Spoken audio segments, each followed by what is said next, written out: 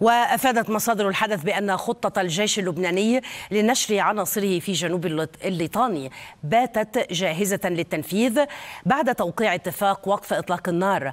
لكن وزير الدفاع الإسرائيلي إسرائيل كاتس قال إن شرط أي تسوية في لبنان هو الحفاظ على القدرة الاستخباراتية. على الجانب الآخر قال محمود قماتي القيادي بحزب الله اللبناني إن أي اتفاق لوقف إطلاق النار تتوسط فيه الولايات المتحدة بين الجماعة وإسرائيل يجب أن ينهي القتال بسرعة ويحفظ سيادة لبنان. وذلك في إشارة على ما يبدو لموقف إسرائيل المتمثل في أنها ستواصل ضرب الجماعة حتى في ظل الهدنة. قاماتي أضاف في تصريحات لقناة المنار التابعة لحزب الله أنه ليس متفائلا ولا متشائما بشأن احتمالات التوصل إلى هدنة.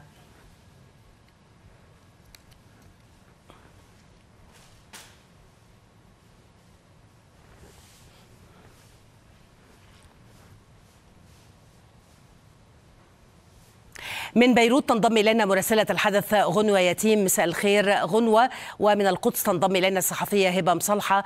أهلا بكما. أبدأ معك غنوة كنت تتابعين كل هذه اللقاءات والتي تنوعت وتوسعت في هذه الزيارة لهوكشتاين لبيروت على مدار يومين.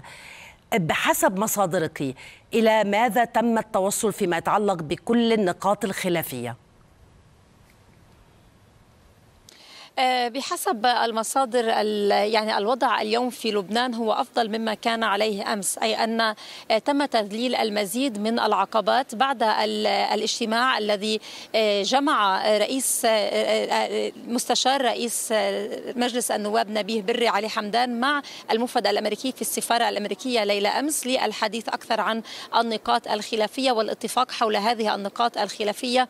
بطبيعة الحال اموس هوكستين المفد الأمريكي رفض أن يتحدث علانية عما هي هذه النقاط ولكن بات معلوم بأن معظم هذه. النقاط تتمحور حول النقاط المتعلقة بالسيادة اللبنانية وبأن لبنان يرفض أن يكون هناك اتفاق جانبي لحر... لحرية حركة إسرائيل إضافة إلى لجنة التي المفترض أن تتابع آلية تنفيذ القرار 1701 وهذه اللجنة يبدو بأنه تم الاتفاق بأن يكون من ضمن الفريق بأن يكون هناك الفرنسيين الأمريكيين إضافة إلى اللبنانيين إسرائيل والأمم المتحدة وعلى ألا يكون هناك بريطانيين وألمان ضمن هذه اللجنة إضافة إلى موضوع تفسير موضوع حق الدفاع حق الدفاع عن النفس وبأن هذا الموضوع أصلا تكفله القوانين الدولية ولكن أيضا كان هناك معالجة لهذه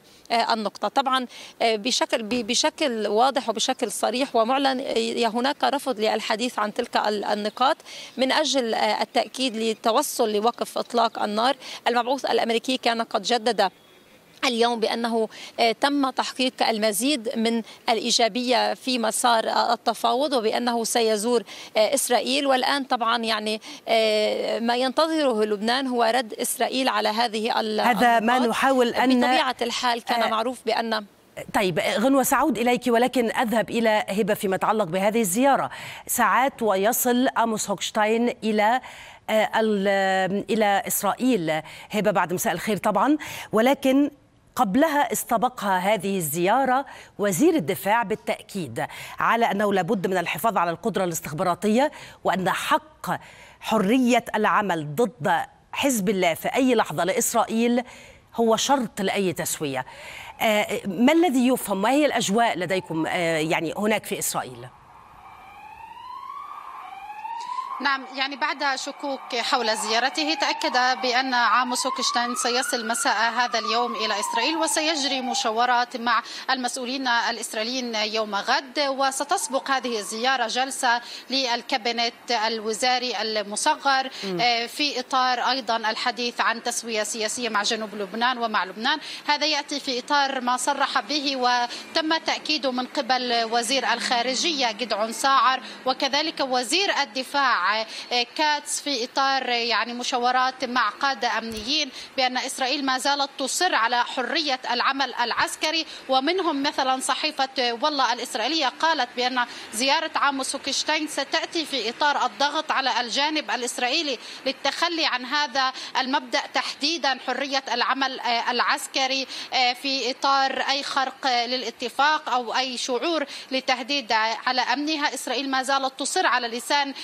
مسؤوليها سواء كانوا قادة أمنيين أو حتى سياسيين بأنها مصرة على هذا البند في إطار التوقيع الجانب اللبناني كذلك عليه وليس فقط في أخذ ورقة ضمانات من واشنطن. وهذا يفسر كذلك بأنه سيعرقل التوصل إلى تسوية خاصة